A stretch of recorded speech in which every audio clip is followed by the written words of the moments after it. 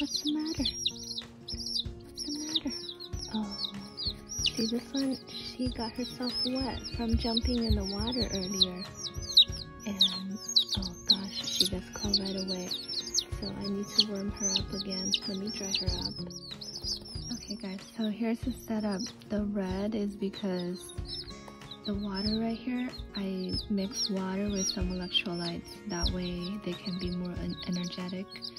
Um, so the white one, you probably can't tell which one she is anymore because she is so lively. But it's this one right here. She started to eat by herself. So the reason why I put a rock in here is because I want them to be able to try to drink water without drowning or getting themselves wet because once they get wet it, it can be dangerous because they're cold-blooded and they will need to dry up again so um, and on the other side the plate I basically are going to feed them some crumbs I just did earlier and it seems like they already finished all of it which is a good sign so we'll have them play around and eat all that they want. They basically just keep pecking and they sleep and then they wake up and they peck again. I want to see how long will this bag last them. It's fun to watch them eat. Okay. And you can just try to show them that this is pecking. This is pecking. Okay, they're really cute. Here's day two. Unfortunately, we lost another one of this kind, the gray looking color. So we only have one of this. And the white one is the other one that's weaker, but she is able to drink water. At least I'm trying to introduce her to water and food by herself. They're eating um, tiny chicken feed They are much more fluffier now. They're very cute.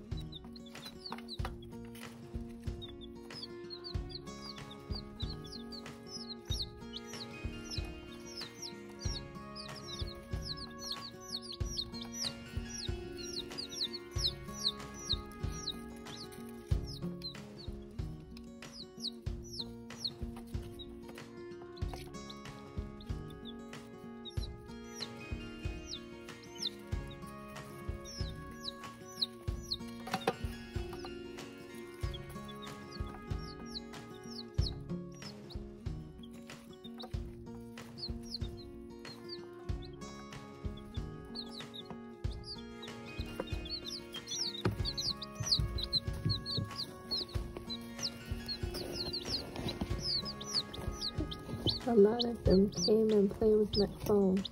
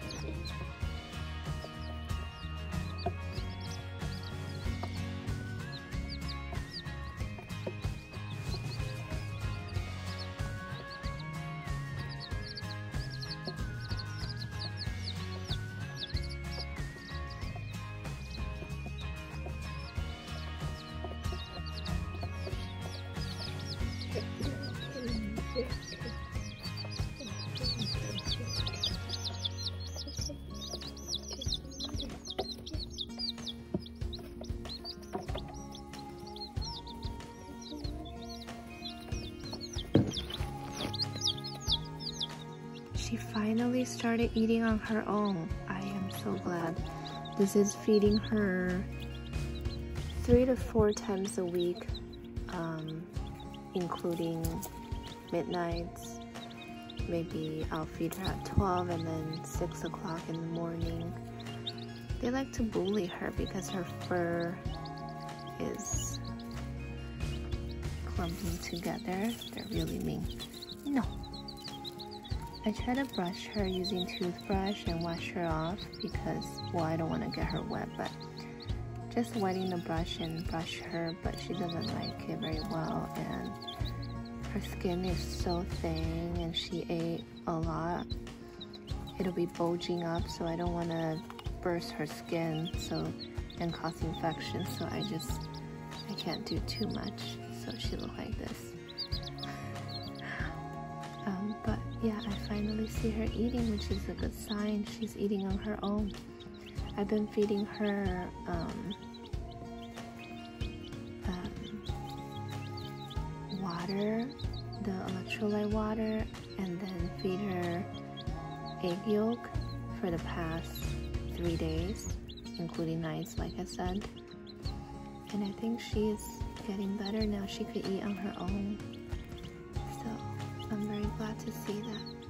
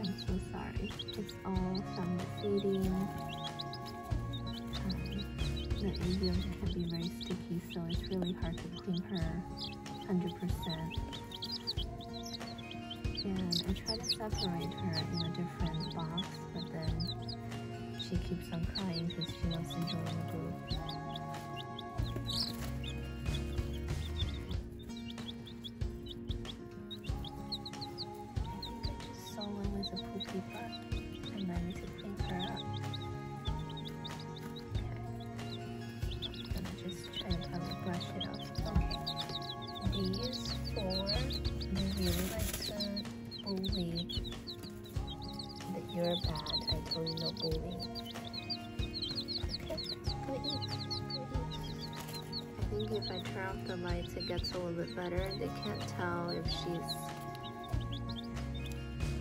clumped up.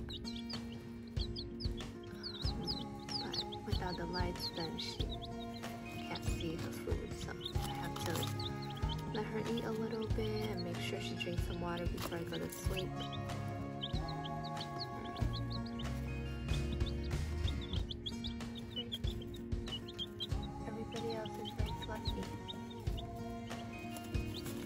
Everybody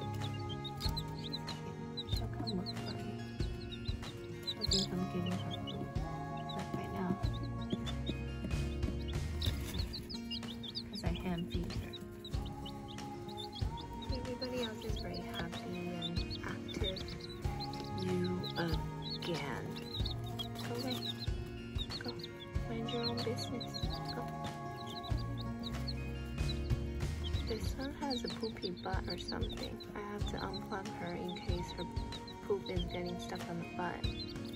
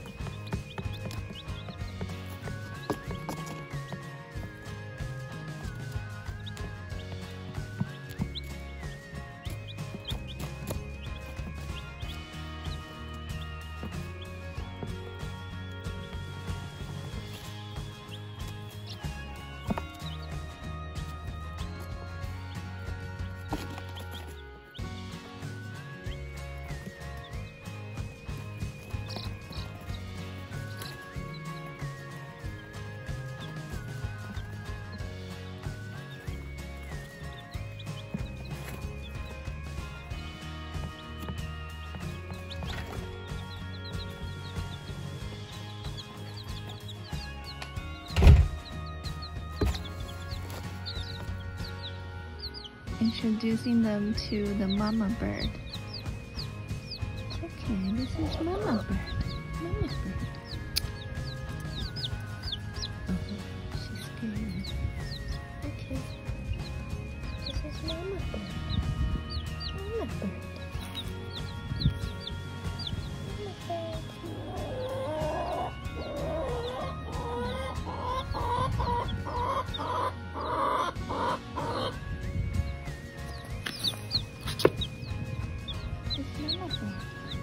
This is another.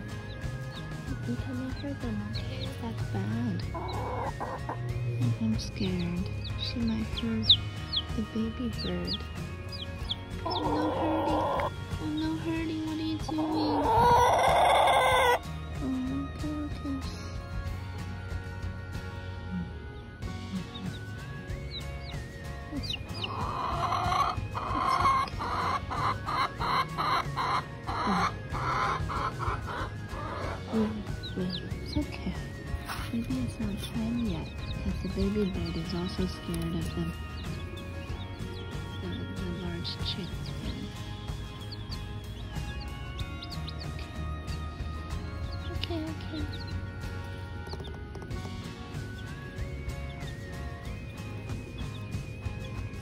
I brought them outside so they can get some sunlight. If you do that, you have to make sure to cover half of the box with a cardboard box and leave the other half open so that if they if it's too sunny they can get some sunshade and I usually cover the other side with a grill literally from a grill. So no nothing can get close to them. But since I'm here, I just open it up and I can